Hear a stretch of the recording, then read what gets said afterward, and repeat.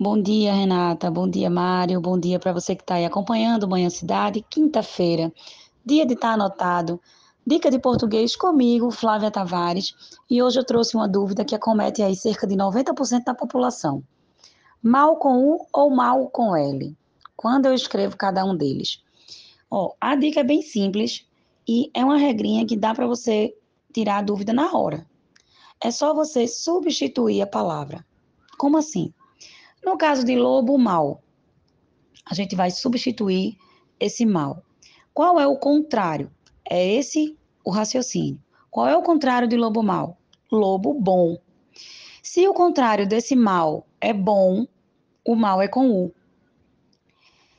Se o contrário do mal é bem, nesse caso o mal é com L. Vamos para outro exemplo. Eu acordei hoje de mau humor. Qual é o contrário de mau humor? Bom humor.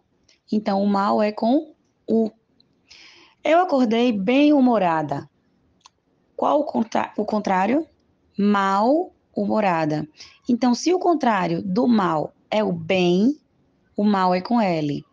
Se o contrário do mal é com U, o mal é com bom. Bem-humorada, bem aventurada.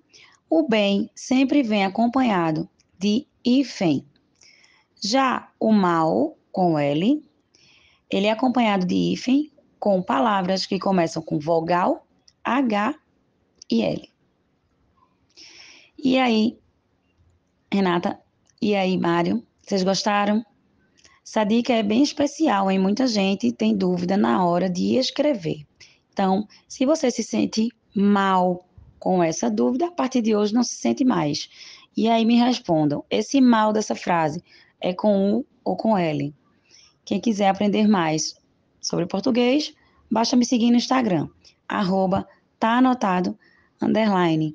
Até semana que vem. Tchau, tchau.